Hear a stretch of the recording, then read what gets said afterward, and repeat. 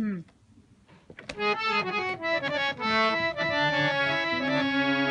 ਹੋ ਚੌਧਰਾਂ ਨੇ ਦੁਨੀਆ ਦੀ ਮੱਤ ਮਾਰ ਲਈ।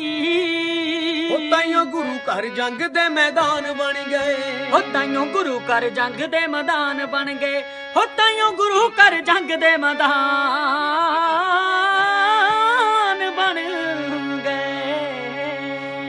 ਮੇਰੇ ਵੱਲੋਂ ਸਾਰਿਆਂ ਨੂੰ ਪਿਆਰ ਭਰੀ ਸਤਿ ਸ੍ਰੀ ਅਕਾਲ ਜੀ। ਮੈਂ ਤੁਹਾਡਾ ਆਪਣਾ ਸਰਬਜੀਤ ਮਲਪੁਰੀ। ਔਰ ਮੈਂ ਤੁਹਾਡਾ ਆਪਣਾ ਆਰਐਸ ਚੌਹਾਨ ਮੇਰਾ ਵੱਡਾ ਵੀਰ ਰਣਜੀਤ ਤੇਜੀ ਜਿਨ੍ਹਾਂ ਦੀ ਨਵੀਂ ਐਲਬਮ ਆ ਰਹੀ ਹੈ ਧਾਰਮਿਕ ਐਲਬਮ ਆ ਰਹੀ ਹੈ ਜਿਸ ਦਾ ਨਾਮ ਹੈ ਗੁਰੂ ਘਰ ਜੰਗ ਦੇ ਮੈਦਾਨ ਬਣ ਗਏ। ਸੋ ਇਸ ਗੀਤ ਦੇ ਇਸ ਕੈਸਟ ਦੇ ਗੀਤਕਾਰ ਸੋ ਹਰਦਿਆਲ ਸਿੰਘ ਚੀਮਾ ਜੀ।